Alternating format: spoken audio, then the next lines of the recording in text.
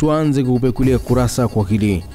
Wanafunzi wa shule ya msingi Muungano jijini Dar es Salaam wapo hatarini kuangukiwa na kuta za shule hiyo kufuatia kuta hizo kutoa nyufa ambazo ni hatari kwa usalama wa wanafunzi hao.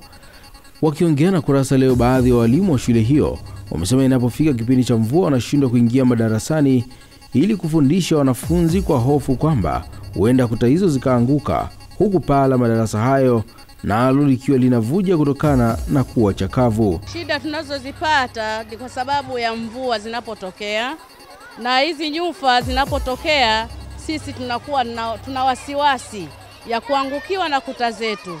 Hizi kuta aidha zinaweza zikatuua sisi hata wanafunzi. Nyufa kwanza ni kubwa eh, zinatishia hata amani, kwa sababu watu tulikuwa tunakata upande huo, sasa hivi tumehama kwa kuogopa hizi nyufa. Alafu ukizingatia mvua zikinyesha, pia tunakuwa na wasiwasi. Serikali ije tu nani, tukarabatie majengo yetu.